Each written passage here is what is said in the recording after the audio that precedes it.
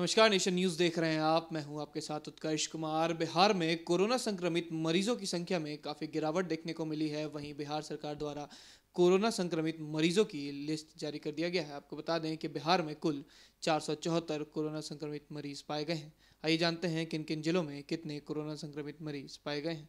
बात करें अररिया में तो तेरह, अरवल में तेरह, औरंगाबाद में दो, बांका में ग्यारह, बेगूसराय में ग्यारह, भागलपुर में ग्यारह, भोजपुर में दस बक्सर में दो, दरभंगा में छः, ईस्ट चंपारण में पाँच, गया में तीन, जमुई में दो, जहानाबाद में चार, कैमूर में एक, कटिहार में दो, खगड़िया में बारह, किशनगंज में तीन, लखीसराय में बारह, मधेपुरा में सात, मधुबनी में छः, मुंगेर में तीन, मुजफ्फरपुर में अट्ठाईस, नालंदा में ग्यारह, नवादा में चौदह, पटना में एक सौ छियानवे, पूर्णिया में नौ, रोहतास में एक, सहरसा में आठ समस्तीपुर में तीन, सारण में बारह, शिवहर में तीन, सीतामढ़ी में बीस, सिवान में छः सुपौल में छः वैशाली में ग्यारह, वेस्ट चंपारण में दो।